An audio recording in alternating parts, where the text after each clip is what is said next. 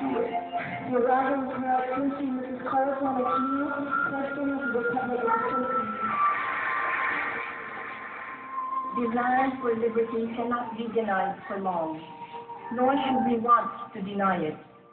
All the material progress we desire will count for nothing without translating into politics the freedom of choice which makes such efficient economies.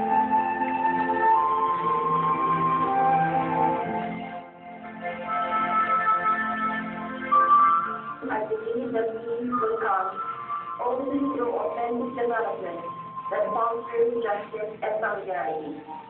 Development by any other path will lead only to violence and tyranny.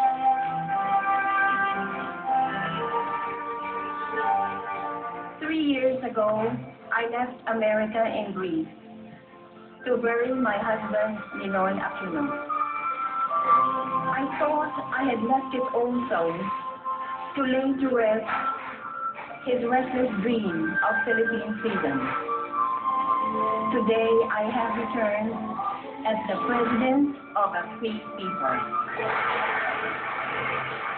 As I came to power peacefully, so shall I keep it.